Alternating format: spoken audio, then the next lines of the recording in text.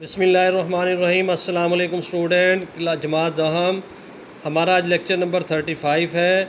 इसमें हमने देखना है, आज टॉपिक जो है हमारा मसला कश्मीर की इब्तदा और इरतका। इसका मतलब होता है डेवलपमेंट ऑफ़ कश्मीर इशू कि जैसे ही जो है पाकिस्तान बना, उसके बाद 1948 में जो है इंडिया ने जो वहाँ पर कब्ज़ा कर लिया और उसके बाद ये मसला सलामती कौंसल में चला गया।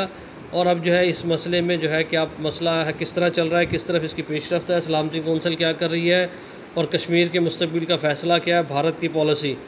हम इन सबको देखते हैं एक एक करके। सबसे पहले हम देखते हैं मसले कश्मीर की इब्तदा और इरतका। Genesis and development of Kashmir issue Pakistan और भारत के माबेन मसला कश्मीर शुरू से वजह तनाज़ा चल आ रहा है। क्या में पाकिस्तान के वक्त कश्मीर की करीबन अस्सी फ़ीसद आबादी मुसलमान थी। वहाँ के मुसलमानों की ख्वाहिश थी कि कश्मीर को पाकिस्तान में शामिल किया जाए।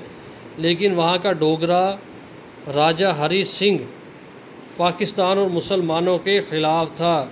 वहाँ का डोगरा राजा हरी सिंह हरी सिंह ने उन्नीस सौ अड़तालीस में जो है, इसने इंतहाई यारी से काम लेते हुए कश्मीर का इलाहाक भारत से कर दिया और भारतीय फ़ौजों को कश्मीर में दाखिल करके यहाँ भारत का तसलुत कायम कर दिया। इस पर कश्मीरी मुसलमानों ने इल्म जिहाद बुलंद कर दिया और वादी के करीबन एक तिहाई हिस्से को भारतीय फ़ौजियों से आज़ाद करा लिया।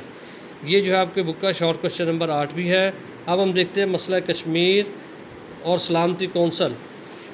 जब भारतीय फ़ौजें कश्मीरी मुजाहिदीन के कब्ज़े से इलाके छीनने में नाकाम हो गई तो मज़ीद नाकामी से बचने के लिए भारत ये मसला सलामती कौंसल में ले गया। भारत ने वहाँ ये मौका अख्तियार किया कि कश्मीर का बाकायदा इलाक भारत से हो चुका था।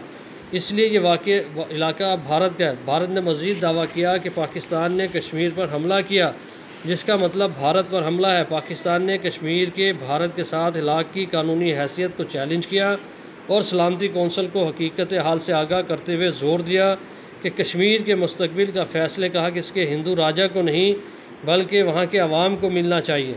ये भी शॉर्ट क्वेश्चन नंबर आपका जो है आठ का हिस्सा है। सलामती कौंसल ने एक रादात के ज़रिए कश्मीर में जंग बंदी की अपील की। चुनाचा यकम जनवरी उन्नीस सौ अड़तालीस को जंग बंदी अमल में आई, वरना मुसलमान पूरा कश्मीर आज़ाद करा लेते वहाँ के कश्मीरी जवान। लेकिन जो है भारत, क्योंकि नहीं, उनसे जो इलाके मुसलमानों ने ले लिए थे, उनसे नहीं ले सक रहा था। तो मुसलमानों को जो है सलामती कौंसल ने माहिदा करने पर, जी हम जो है यहाँ पर जो है ना इस इलेक्शन जो है रेफरेंडम करवाएँगे इलेक्शन करवाएँगे, देखेंगे भी यहाँ के लोग किसके साथ मिलना चाहते हैं। और आज सत्तर साल से ज़्यादा वक्त हो गया है, वो वो इलेक्शन नहीं हो सके और मुसलमानों को वहाँ के फ़ैसला का हक जो है, आवाम को नहीं मिल सका। कश्मीर के मुस्तकिल मुस्तबिल का फ़ैसला। सलामती कौंसल ने पाकिस्तान के इस मौक़ तो मौक़ को तस्लीम कर लिया कि कश्मीर के मुसलमानों कश्मीर के मुस्तबिल का फ़ैसला रियासत के अवाम की मर्ज़ी के मुताबिक होगा और इस मकसद के लिए अकवा मुतहदा अकवा मुतहदा की जेर निगरानी, इस्तवाब राय कराया जाएगा। सलामती कौंसल की इस करारदाद को पाकिस्तान और भारत दोनों ने मंजूर कर लिया और जंग बंदी हो गई। जंग बंदी की खिलाफ वर्जियों को रोकने के लिए अकवा मुतहदा ने जंग बंदी लाइन की निगरानी के लिए मुबसर मुकर कर दिए।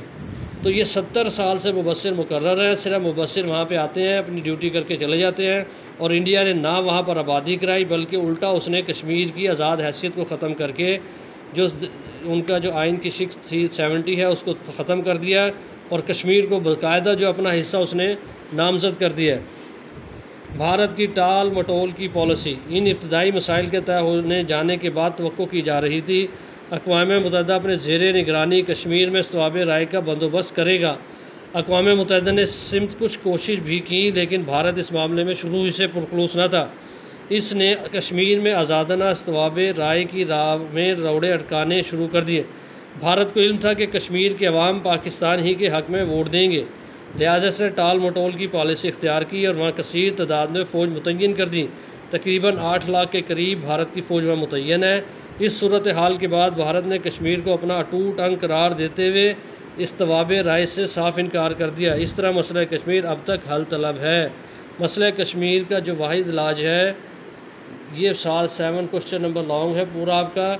जो है मुसलमान, जो भी हैं, जो है, काफिर ने किसी भी इलाके में, किसी भी मुसलमान इलाके को जब काफिर ने कब्ज़ा किया, कभी भी उसने बग़ैर जिहाद के उसे नहीं छोड़ा। जब मुसलमान इस पर जहाँ के मुजाहिदीन जिहाद करते हैं तो पाकिस्तान पर इल्ज़ाम लगाना शुरू कर देता है इंडिया। तो अब इन अब अब जो है कश्मीर के मुजाहिदीन जब इस मसले को लेकर सारी दुनिया में सामने पेश भी करेंगे और कश्मीर से अपनी आज़ादी भी लेंगे। अल्लाम